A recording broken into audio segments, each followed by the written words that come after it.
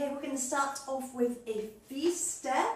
Step the right foot forward to the right diagonal, step the left foot to the left side, step the right foot back to centre, step the left foot back to the right. Walk back, right, left, right, close left. We're going to do another V step. Step the right foot out to the right diagonal, step the left to the left, step the right back to the centre, close the left next to the right, and walk forward, right, left, right, left. Next section, we're going to do a toe strut with the right and a toe strut with the left, lifting the hip for one, two, three, four.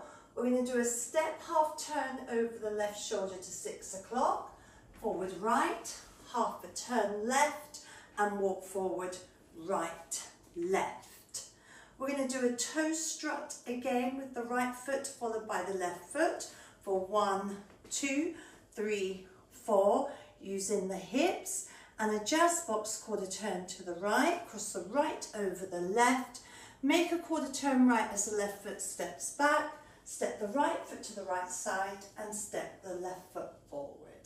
Let's go through that with counts from the top. V step, seven, eight, V one, two, three, four, walk back, six, seven, close eight. V one, two, three, close four, walk forward, six, seven, eight, strut, one, two, three, four, five, turn six, walk seven, eight, strut, one, two, three, for just five, six, seven, eight.